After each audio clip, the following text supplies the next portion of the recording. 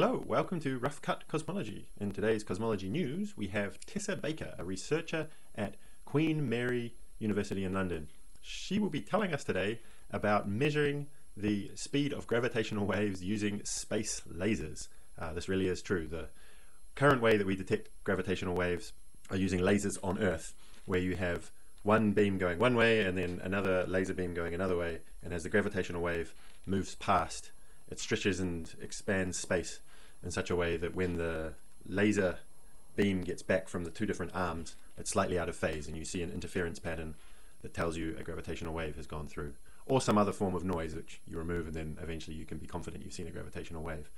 The one that Tess is talking about today, it doesn't exist yet, but when it does, it'll be in space.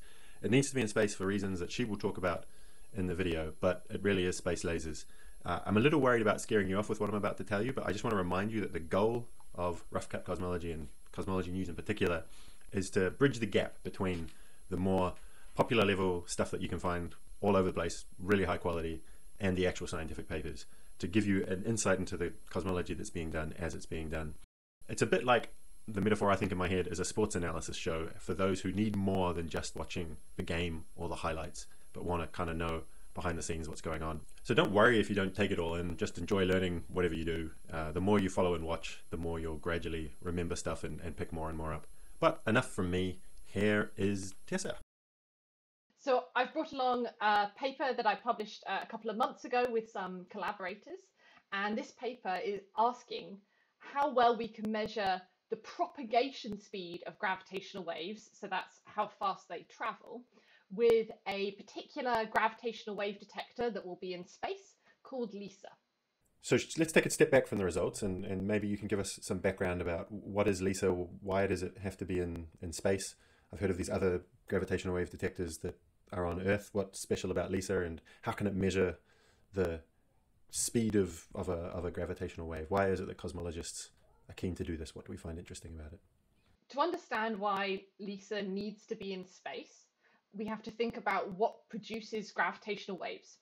Um, so gravitational waves are produced by the most energetic events in the universe because it takes a lot of energy to, to shake up space and produce these, these tiny waves. And those energetic events are the mergers of black holes. There are actually two kinds of black holes that we know about. So there are relatively small ones, uh, where small means maybe sort of five to a hundred times the mass of our own sun, so it's actually really big. And there might be thousands of those in every galaxy in the universe.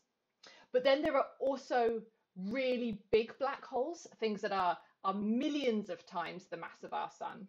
Um, and those live at the centers of galaxies. And each galaxy might only have one, or it might have two of those that are orbiting around each other and, and producing these gravitational waves. And the point is these two kind of different different varieties of black holes they produce what we would call different frequencies of gravitational waves where frequency basically means how fast the gravitational wave oscillates. So we have gravitational wave detectors already on the ground and they are designed to detect what we would call the high frequency gravitational waves so the fast ones that come from the small black holes. But in order to detect the gravitational waves from the, the really, really big guys, ones that happen at much lower frequencies, we need a completely different kind of detector. And it turns out that detector has to be really big uh, to make it sensitive enough. So big, in fact, that we can't really fit it on Earth.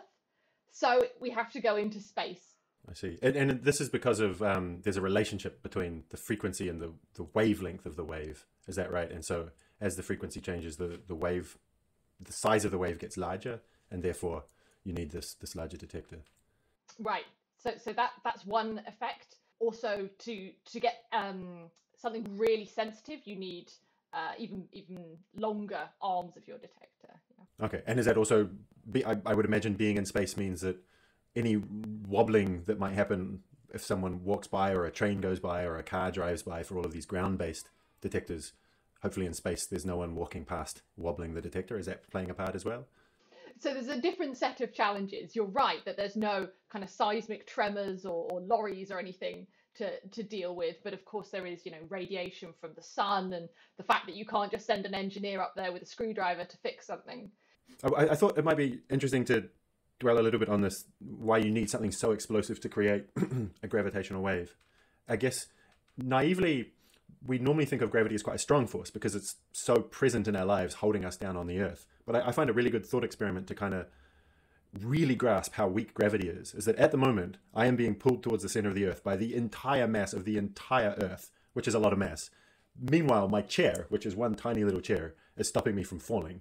So the electric and magnetic forces and sort of chemistry forces inside my chair are resisting the entire gravitational effect of the earth. So I guess this is why when you have colliding black holes, you need something so explosive because so the gravitational force that will produce the rippling of space is so weak that even with something so explosive, it's still a very a small thing. And then we have to detect that. So with our detectors that are detecting the weakest force, you, you need to be ultra sensitive. So the size of the gravitational wave needs to be as big as, as possible, I guess. So something as explosive as colliding black holes is, is necessary. Yeah, that's exactly right sort of getting back to the, the story. So that's why we have the, the LISA detector that'll be in space, and, and we're looking for these low frequency uh, gravitational waves. And we want to measure their propagation speed. So why is that interesting? This all relates back to a, a big problem in, in cosmology, which is we have some, some problems with our standard cosmological model. Right? When we look at all our observations, they tell us that the expansion rate of the universe is speeding up. And that's something that's actually really quite difficult to explain with all the, the standard physics we have, so standard laws of gravity and the kinds of, of components that we think the universe has. So either we have to invent some really kind of crazy, exotic new component to the universe that's never been detected, which we call dark energy, or an alternative would be that maybe the laws of gravity that we're kind of using to deduce all of this aren't, aren't quite right. So we have a standard theory of gravity, which is thanks to Albert Einstein, and we, we know that works really well on Earth and in the solar system and probably even in the galaxy, but it's not clear that it applies to the universe as a whole. And so uh, people are very interested in testing whether there could be a, a different theory of gravity governing the universe. And it so turns out that one of the ways you might be able to tell whether that's happening would be that if you had a different theory of gravity, it might change the speed at which those gravitational waves themselves travel.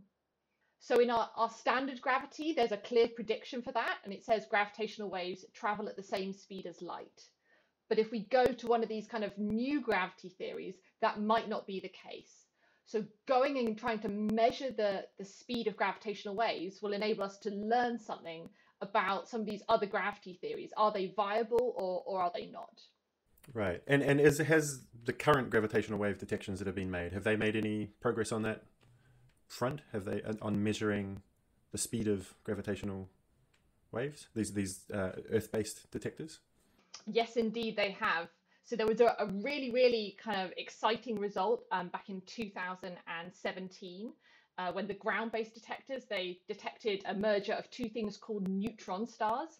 So those are uh, dead stellar cores that they're almost black holes, but they're just not quite big enough to kind of collapse and form black holes, but they're still really, really big.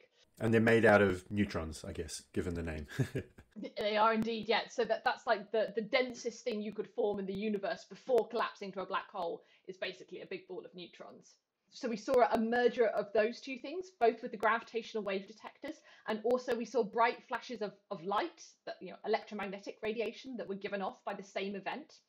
And from timing the arrival of those two things, so the gravitational waves and the photons, that tell that enables you to uh, measure any differences in their speed. And so this, this measurement of the propagation speed of gravitational waves was done with that event. And we found that, uh, at least with that one event, it seemed to be really, really close to the speed of light, to a, you know, a really, really tiny degree of accuracy. But the, the subtlety here comes that that measurement used those, well, they weren't black holes in this case, but it used those small objects and the high frequency gravitational waves. And we've actually got kind of good theoret- theoretical motivation that says even if you see something traveling at the speed of light with the high frequency gravitational waves, you could still have something very non standard going on with the low frequency gravitational waves. And that's the thing we're after. And and the, the changing of speed with frequency is something people might be a little familiar with, with like prisms and light and stuff. That if, if I if I shine light through a prism, the different frequencies of light, which in this case means different colors of light, travel at slightly different speeds. Which is why I mean, which is why you get this Pink Floyd Dark Side of the Moon rainbow coming out of the prism on the other side. It would be, I suppose, a little bit like that, but with gravitational waves. That they're not, we can't see them, so they're not colors, but the different frequencies would travel at different different speeds a little bit. I, it, it, they wouldn't bend, the, I, I, suppose, the way that they do in um, a prism, because the, the, whole point with the prism is you're going from two different media, the air to the prism, and the, the speed change happens there. But at least it would be similar in the sense that they'd be traveling at different different speeds. Cool. And is there um, is there any reason to suspect that the frequency LISA will be sensitive to is is one where we might have deviations, or is it just a, a case of measuring as much as we possibly can? So um, if you dig into the kind of mathematics that underpins this this kind of model where you have deviations at the, the low frequency gravitational waves and not at the, the high ones, that does make a kind of ballpark prediction. And it makes a, a prediction that the transition from your different speed and back to the speed of light could happen um, at, at, well, what we measure is at sort of a few hundred hertz. So that's something that is just at the uh, sort of middle to lower end of the, the ground-based detectors. So in fact, we think we've sort of just about kind of clipped that transition with the ground-based detectors and we're just on the wrong side of it with, with those. And so the, the LISA detector should be cleanly out the other end in the low frequency regime. I see. So there's one, one subtlety that maybe wasn't brought right to the front, which is that it's not so much that the gravitational wave detector is measuring the speed of gravity, it's more that it's measuring its difference with the speed of light. So it's not like that it it's telling us the absolute speed that the gravitational wave is detect is, is traveling from one detector to the other. It's just this difference in arrival time between a light signal and a and a gravitational wave that tells us, you know, if, if the light signal arrived a week earlier, obviously it's traveling slightly faster. If it arrived a week later, it's traveling slightly slower. Is that is that correct? Is there any hope of measuring the absolute speed of gravitational waves? Right, so this is a, a difference in method then between what's been done already with the ground-based detectors and what we do in this paper. So in the ground-based detectors, because they have that flash of light, the, the electromagnetic part of the signal, exactly as you say, Sean, they're just measuring a relative speed between light and the gravitational wave. But when we go look at those um, low frequency gravitational waves, we're not sure if there is going to be that corresponding flash of light. Now there might be, but there's it, it's a it's a very uncertain area. So what we wanted to do in this paper was find a slightly different way to use the gravitational waves to, to measure the speed, one that doesn't rely on that light signal. So actually in our case, we are measuring the absolute speed, not not just a relative speed. Let's get into the, the details now. So what, what was it specifically in this this new paper? This is one of the, the things we want from you know the Cosmology News channel is to, to give you, our audience, insight into the actual research being done. So this, this is a paper that is only a few months old. And um, yeah, before that, I guess Tessa and her collaborators knew all about it, but no one else in the cosmology community did. And now, now we're sharing it with you. So as we said uh, earlier, what we want to try and do is, is measure the speed of propagation of, of the gravitational waves for, for all the things we've talked about. So when you're thinking about a wave, there are two parts to it. There's what we call the amplitude, which basically is you can think of as like the height of a wave. So if you think of a wave on the ocean, how tall is it sort of above the mean surface of the sea? So that's one part. And the second part, uh, in technical jargon, we'd call it the phase. It, it basically tells you how fast does that wave oscillate. So is it something very slow or is it something, you know, that, that goes up and down really quickly? And both those those quantities exist for, for gravitational waves. So what we did in this paper, we start off with the kind of the, the mathematics side of it. We go back to the starting point of the derivation for what is the amplitude of a gravitational wave, what's the phase of a gravitational wave, and we kind of reworked those calculations with a, a, a different speed of propagation. And in particular, we used a, a, a, speed of propagation that goes through a transition, as we talked about earlier. So starts at something different from light, and then at some point goes back to being the, the speed of light. Can I just clarify something? You said the word phase twice, where I think you meant frequency, or am I missing something? Hmm. Okay, so the phase is a more complicated object, but what it really is telling you is that that frequency, which you're absolutely right, Sean, is sort of what you think of as how fast a wave oscillates. The phase is tells you how the frequency changes over time. So when you've got these two objects that are going to in spiral, uh, sorry, uh, they're going to well, they're going to orbit around each other and get closer and closer until they, they merge. So as they in spiral, the gravitational waves they produce, they start off kind of slow, so low frequency, but as the black holes get closer and closer together, they get faster and faster, so the frequency goes up. And so the phase is uh, really telling you about that whole evolutionary process of the gravitational wave. Yeah. Okay, yeah. What are we looking at here? Okay, so this is a, a diagram that's showing you the gravitational wave amplitude for a couple of different systems. So first of all, you've got that black line that kind of scoops down in a sort of bucket shape and then it has wiggles at one end. That is showing you, as a function of frequency, what LISA can detect. So anything that's above that line represents a sort of part of the parameter space that LISA can see, and anything below it LISA can't see. So I, I don't know yet what the the like graph reading literacy of this channel will be.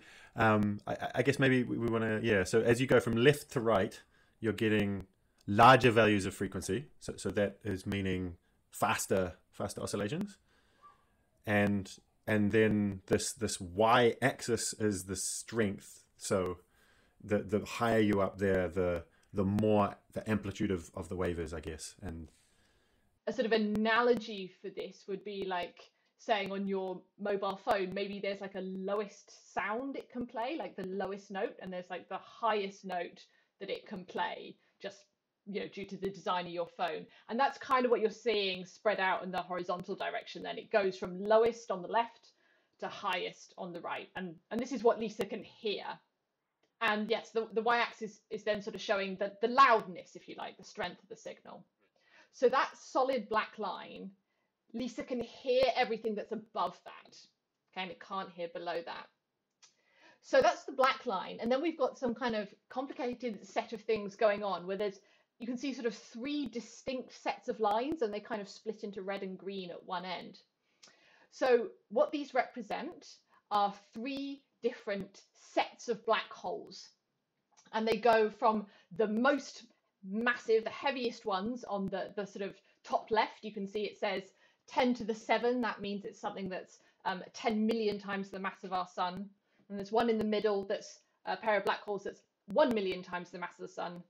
And then uh, there's a, a far one in the sort of bottom right that's a factor of 10 smaller than that.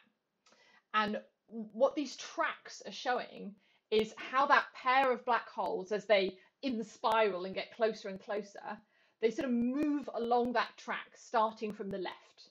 So we said when they're far apart, they're at low frequencies, emit low frequencies, so slow kind of gravitational wave oscillations. And as they get closer and closer, the frequency goes up. So they move to the right along that diagram. And then you can see at some point, there's like a, a bump and then the signal just drops off. And what's happened there is there's been the last few seconds where the black holes have got so close, they've devoured each other in a massive explosion of energy, and then they vanish basically. The signal's gone, and you've just got one massive black hole sitting there in, in space. So that's what the three signals are. Now, why there's why there are sort of green curves and red curves for some of them, that's where our modified speed of propagation comes in. So in green, you have the standard prediction. So if we have normal gravity as given by Einstein, they follow the green track. But if you have this different speed of propagation that we spoke about earlier, they instead follow that red track.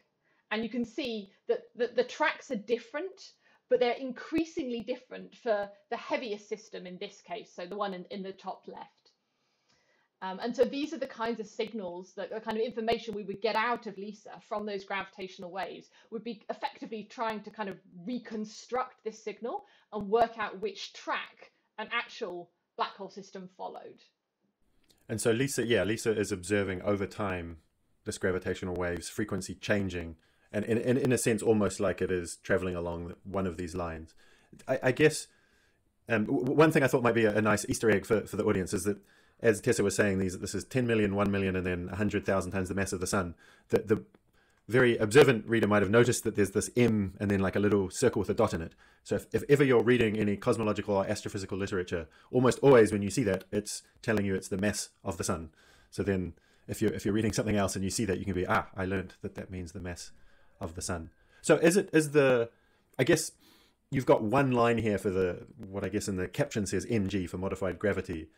Presumably, um, you don't know how big the deviation or the change from ordinary gravity is. So there's some whole population of or set of possible dashed red lines, and then is the is the possible size of this difference something that you do anticipate LISA could tell? Like, can LISA tell it's not the green line and is the red line for for expected sizes of of red line? Is that if that makes sense? Yeah, that, that that's exactly right, Sean. So actually that's one of the um, one of the things we want to measure is how big is that difference between the green and the red line. So in this picture, I've picked a particular value of that that difference just to uh, kind of make the the figure. Um, but actually, that will be one of the things we would try and and and restrict. And so there's a, a parameter which describes um, that what it's actually giving you is the change between the speed of light, which you know gravitational waves have to have at the high frequencies, and their speed at the low frequencies. You know, uh, is the difference like that, or like that, or like that? And there's a, a parameter describing that that height effectively. Cool. Anything more you wanted to say about this this figure? So not so much about this figure. This kind of shows the effects we're looking for. Um, and then what we, what we do in the paper is we kind of go through a set of procedures that allow you to say, okay, if we think LISA is going to have these properties and this is the signal we're looking for, how well could LISA detect those signals? How well could it measure that kind of parameter that I, was telling about that described the, the change in speed? So there was um, another figure which shows the kind of results of that, which we could jump to. Okay, so so what's going on here? So there's a couple of things. So first of all, in the horizontal direction, you've got the mass of the black holes you're studying. Now we've actually taken a log of it, which means we've sort of done a mathematical operation on it. So, but you can still think of things to, to the left being comparatively lighter black holes and things to the right being comparatively heavier black holes. And then in the, the vertical direction, there's a parameter we call redshift, which cosmologists use to say how far away something is. So again, things that are really near to us are low down, and things that are really far away from us are, are at the top this this redshift thing relates back to, to what you said right at the beginning. Maybe it's nice to um to just connect those dots. Which um you were saying the universe is expanding, and and expanding at a faster rate over time, which is which is the mystery, which is what puts gets put under the label of dark energy, but that may in fact be modified gravity. But the fact that it's expanding does mean that this redshift is, is just a normal. It is very analogous to a normal Doppler shift that you might hear as a, a siren comes past you that things moving towards you sound at a higher frequency and things moving away are at a, a lower frequency. And so this this redshift is the the light wavelength being stretched at going to a lower frequency. I mean, so so I guess going from a blue color to a red color as you move through the rainbow. And yeah, as as Tessa said, because things further away are moving faster, they have more of a redshift, um, and then it becomes an, an excellent observational proxy for uh, distance because um, it's such a relatively easily measured thing. A lot more easy to measure, in, uh, ironically, than distance itself. Yeah, no, that that's certainly true. Um, particularly when you look at things like galaxies, it's very easy to measure the redshift.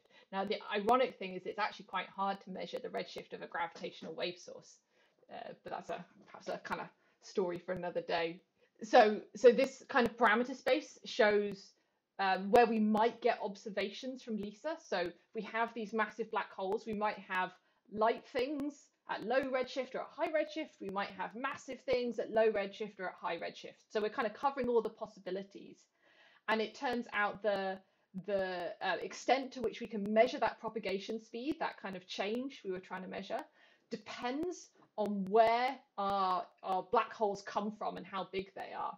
And that's what the kind of gray curves in the background are, showing you here. And basically, darker gray means better measurement.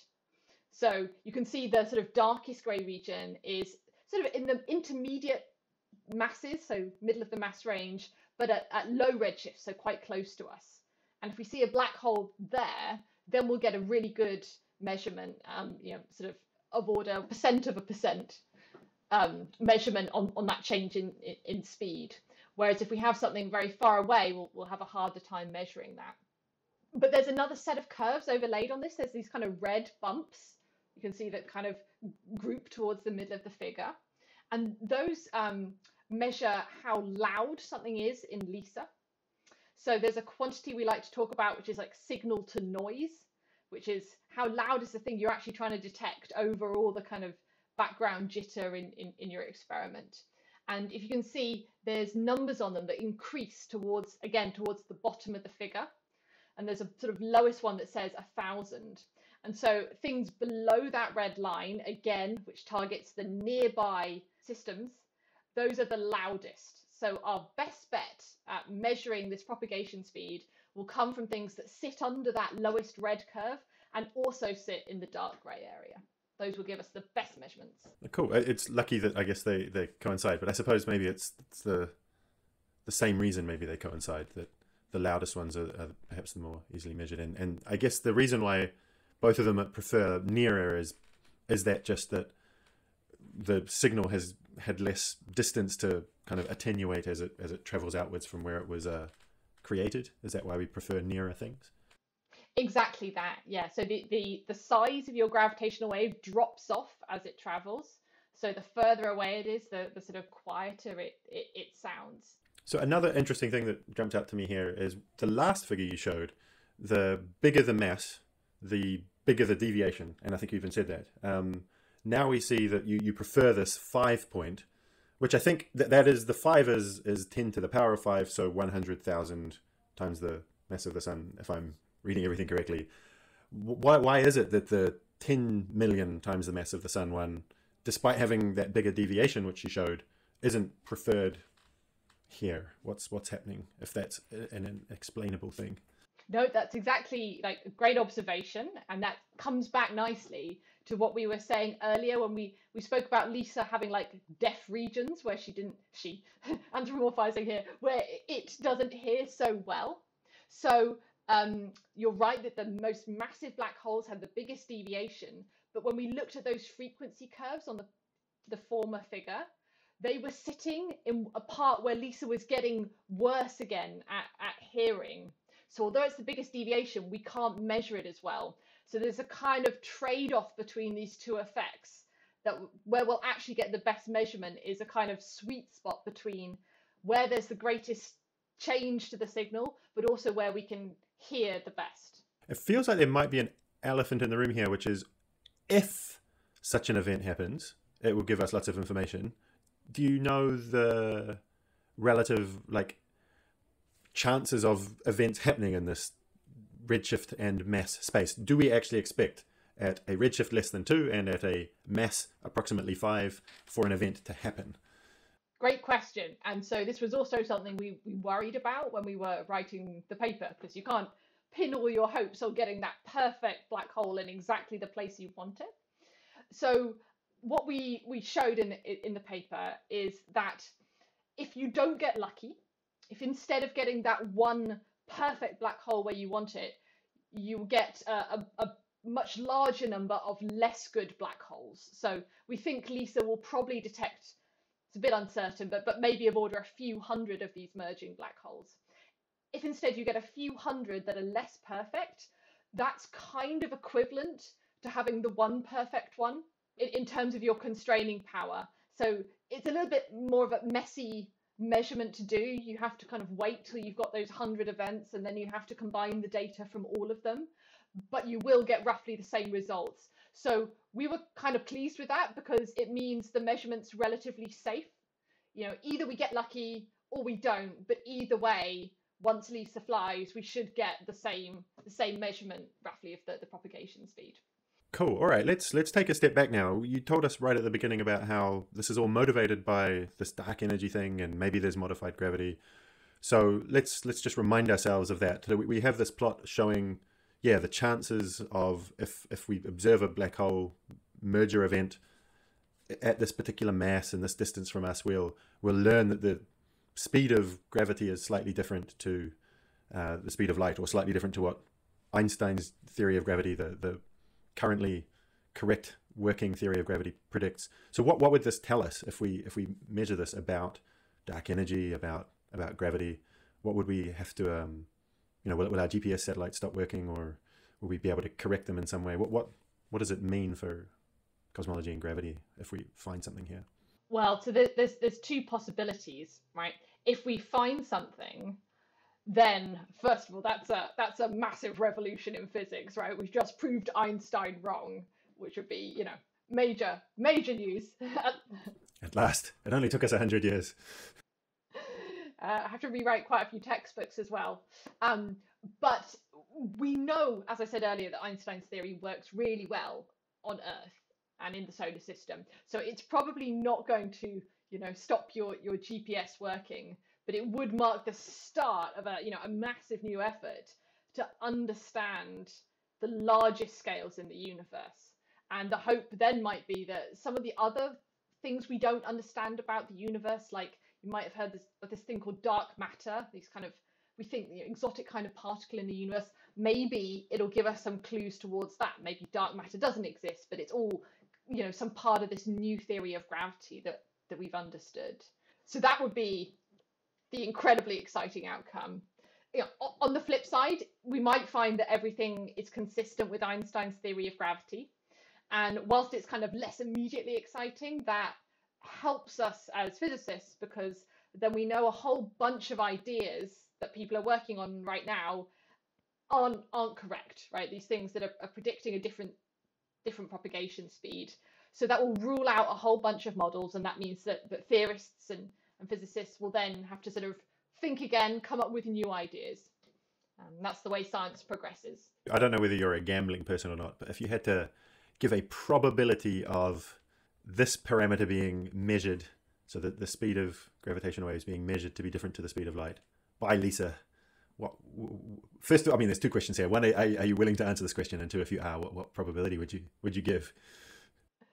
I think it's a very hard question to put a number on because you know that we grow up with like a status quo, you know, in our lives, but also as as scientists, and so we're we're sort of programmed and trained to think that things different from the status quo are, are really unlikely, right? Because the status quo is all we've ever known. But if we always think that way, we'll never discover new things. So eh, you're really kind of tugging at, you know, two parts of what it what it means to be a scientist there. So I don't think I'm going to put a number on it, Sean. Sorry. All right, fair enough, fair enough. Right, anything more that you want to kind of do to help us see where this this work will fit in within the greater um I think I was calling it a jigsaw web in, in my notes to you guys that it's kind of like a jigsaw didn't feel quite right because jigsaw implies that stuff within the kind of jigsaw stuff that's happening here is unrelated to stuff that's happening over here whereas knowledge is more of a web where there's just connections all over the place between things but then it's kind of an incomplete web so it's kind of like if if, if you had a jigsaw puzzle that was to build a web. That's what research is like. How, so if that's not confusing enough, let's get back to the cosmology. And um, can you help us understand, uh, yeah, and in, in, any anything else you want to say about how your your research will fit within this this jigsaw web? So I think it's important to put um, some kind of um, timeline on this. So LISA, this mission we've been talking about, will be the first of its kind. It will be the first thing that can detect these massive, massive black holes. Um, but we have to wait for it for a little while, for 10 years, because the engineering involved is so complex. And so there's some things that could happen in the meantime, because these ground-based detectors that detect the small black holes, they are up and running. And actually, the, the they sort of operate together as a network. And right now, that network is switched off. It's undergoing engineering and upgrades, but it's going to turn on again in March 2023. So, you know, about, about nine months from now. And when it turns on, it will be more sensitive than ever. So we'll start seeing even more of these small black holes. And although we've kind of done the speed of propagation measurement at, at those frequencies and with those systems, there's a whole bunch of other things we could learn from those. So if we did have a change to Einstein's theory of gravity, it's possible that it doesn't change the propagation speed, but it shows up in some other kind of way and that has the potential to kind of completely change the landscapers as well. So I'm I'm super excited about uh, that switch on next year. Ah, yeah. So we don't have to wait necessarily for for LISA to to have hope of um of seeing new stuff. No, exactly.